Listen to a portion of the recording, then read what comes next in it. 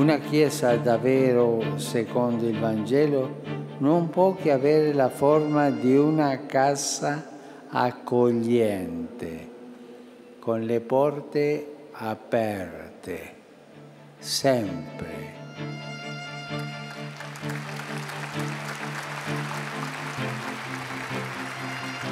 Le chiese, le parrocchie, le istituzioni con le porte chiuse non si devono chiamare chiese, si devono chiamare musei.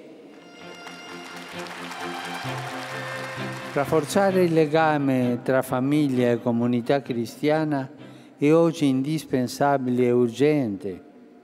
Certo, c'è bisogno di una fede generosa per ritrovare l'intelligenza e il coraggio per rinnovare questa alleanza. Le famiglie a volte si tirano indietro dicendo di non essere all'altezza, ma nessuno è degno, nessuno è all'altezza, nessuno ha le forze. Senza la grazia di Dio non potremo fare nulla. Tutto ci viene dato, gratuitamente dato. E il Signore non arriva mai in una nuova famiglia senza fare qualche miracolo.